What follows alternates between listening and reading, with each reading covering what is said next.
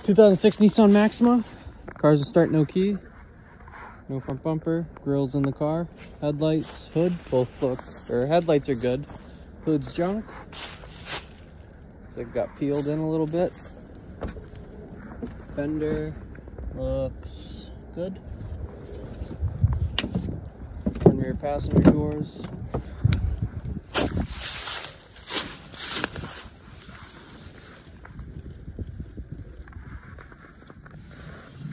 Front passenger looks good. Glass and mirror made it. Rear passenger looks good. Little scuff on the bottom.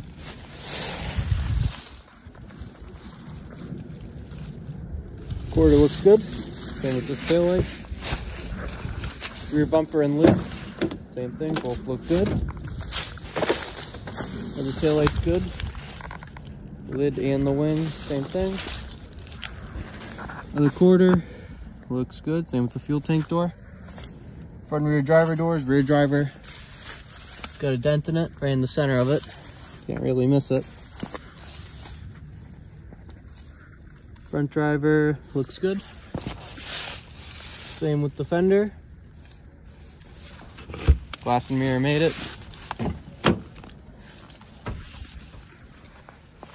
Again, cars in start, no key. Did show the mileage at one point, but doesn't anymore.